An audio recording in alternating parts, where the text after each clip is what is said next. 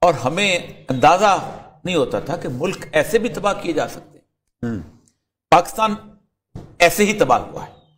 اور ہمیں بالکل اندازہ نہیں ہوا کہ ہم تباہی کے گڑے کی طرف کتنی تیزی کے ساتھ جاتے رہے۔ انڈیا کا جو اکانومی ہے نا اس اکانومی کو کارپوریٹ کلچر جو تھا انٹرنیشنل کارپوریٹ کلچر وہ پہلے دن سے سمجھتا تھا کہ اگر اس کو ہم نے اٹھنے دے دیا تو پھر ہم تو گئے۔ ہم اتنے بھولے نہیں ہیں کہ ہم انڈیا کی اور چائنا کی اکانومی کے تھریٹس کو نہ جانیں۔ Indian economy is more a threat to us because Indian education system is well in place ان کا ایجوکیشن سسٹم زیادہ بات انگریزوں والا ہے سب کچھ ہے تو وہ ہمارے لیے زیادہ تھریٹ کا ہے آپ اندازہ کریں کہ کارپوریٹ کلچر نے جیسے دنیا میں کرتے ہیں مودی کو باقاعدہ فنڈ کیا گیا سارے کی ساری اس کی سکیم جو ہے شائننگ انڈیا والا جو نعرہ گیا فنڈ پیسے اس کی سکیم ہاں۔ میں لگائے گئے اور امبانی اور متل اور یہ ان کا تو انڈیا کے ساتھ تو ان کا تو انٹرنیشنل بزنس لیول کے ہوتا ہے کیا اس لیے گیا کہ تم ایک ہارڈ لائن اختیار کرو؟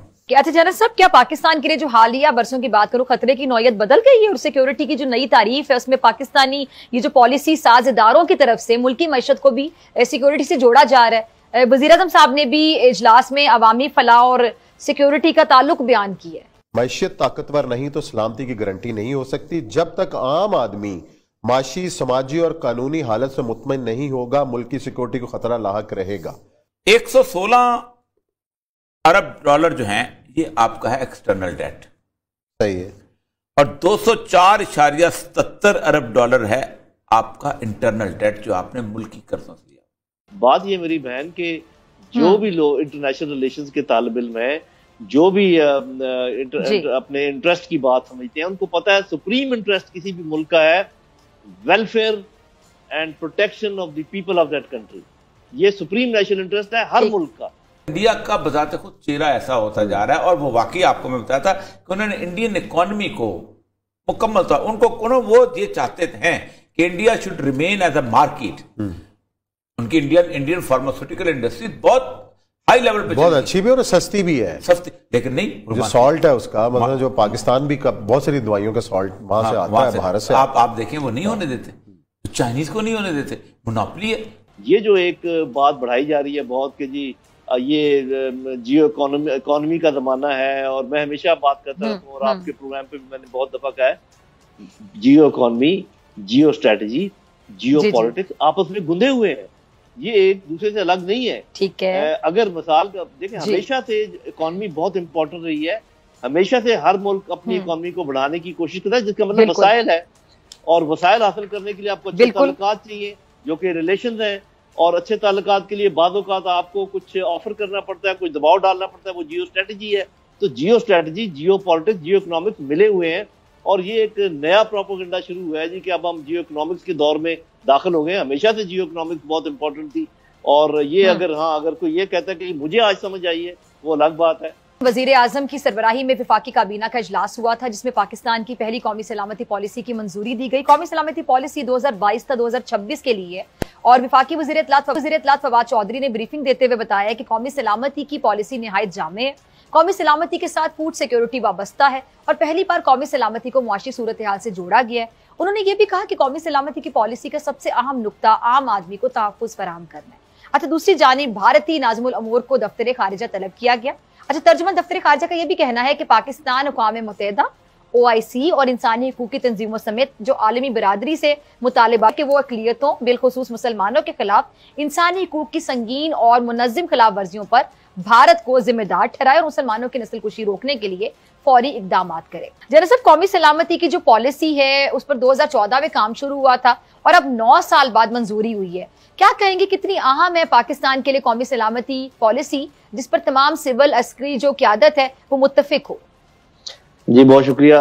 بنیادی طور پہ اصل میں جہاں بھی سلامتی کا لفظ آتا ہے سیکیورٹی انگریزی میں تو لوگ یہ سمجھتے ہیں جی۔ کہ شاید یہ دفاعی دفاع کے متعلق ہے دفاعی پالیسی پالیسی ہے ٹینک جی۔ اور توپوں کے متعلق ہے۔ لیکن ایسا نہیں ہے۔ سیکیورٹی کا ایک ایکسٹینڈڈ ترجمہ ہے جس کے اندر یہ ساری باتیں جن کا آپ نے ذکر کیا تعلیم کا انتظام اس کے بعد انصاف کی فراہمی برابر کے معاشی مواقع فراہم کرنا اور بہت ساری چیزیں اس میں انوائرمنٹ والی چیزیں بھی آ جاتی ہیں۔ تو یہ میرا خیال یہ لنک مسنگ تھا۔ اس لیے کہ دیکھیں ویسے تو یہ نہیں کہا جا سکتا کہ کوئی پالیسی موجود ہاں۔ نہیں تھی۔ دفاعی پالیسی موجود تھی فورن پالیسی موجود تھی فائننس پالیسی چل رہی تھی۔ لیکن ان کے اوپر مربوط طور پر ان سب کو کوارڈینیٹ کرنے کے لیے کوئی ایف ایکس پالیسی جس کو کہتے ہیں ٹاپ لیول کی وہ ریٹن فارم میں غیر موجود تھی۔ تو لہذا یہ خلا تھا۔ اور کیونکہ میں نے خود بھی اس پر کام کیا یہ سرتاج عزیز صاحب کے زمانے سے کام شروع ہوا۔ اس کے بعد ناصر جنجوا صاحب نے کام کیا۔ پھر میں نے اس کے اوپر کام کیا۔ اور اب یہ شیرا صاحب ذرا کہ وہ یوسف صاحب کے سر جاتا ہے انہوں نے اس کو مکمل کیا۔ اور آپ کو کریڈٹ اسی حکومت کو دینا پڑے گا جنہوں نے یہ اس کو اس کو اس کو مانا اور اڈاپٹ کیا۔ تو یہ بہت اہم پالیسی ہے۔ اس کے بغیر جو کچھ کوارڈینیشن میں پرابلم ہو سکتا ہے۔ ایک میں چھوٹی سی مثال دیتا ہوں۔ این ممکن ہے کہ فورن پالیسی جو ہے کچھ ملکوں کے ساتھ اپنے تعلقات بڑھانے کے بارے میں سوچ رہی ہو اور جو فائنینس ڈویژن ہے اس کو یہ سوٹ نہ کرتا ہو اس کو دوسرے ملک سوٹ کر رہے ہوں اور ڈیفینس پالیسی والے جو لوگ ہیں وہ کہیں اور سے ہتھیار لینے کی کوشش کر رہے ہوں تو یہ پھر ایک ہوش پوچھ ہو جاتا ہے۔ یہ جو پالیسی ہے یہ ایک ڈائریکشن فراہم کرتی ہے یہ ان کی کوارڈینیشن کا کام کرتی ہے اور اس میں تمام امور جو ہیں ان کو شامل کر لیا جاتا ہے جیسے پاپولیشن کنٹرول بھی اس کا ایسا ہے کیونکہ یہ سب چیزیں ایک دوسرے سے جڑی ہوئی ہیں۔ تو یہ پالیسی آپ جو سمجھیں کہ عام آدمی کے تحفظ کے لیے بہت ضروری تھی۔ یہ نہیں کہ اس کی غیر موجودگی میں یہ کام ہو نہیں رہا تھا۔ اب زیادہ مربوط طریقے سے ہوگا جی۔ اچھا آگے چلتے ہیں۔ جنرل صاحب کچھ ناقدین یہ کہتے ہیں کہ جی قومی سلامتی پالیسی ہر ملک کا ایک سیاسی وہ کہتے ہیں جی اس پر ایک دستاویز ہوتا ہے لیکن پاکستان میں ایسا نہیں ہوتا کیونکہ یہاں پر اسٹیبلشمنٹ خارجہ امور اور جو اندرونی معاملات ہیں اس کو کنٹرول کرتی ہے۔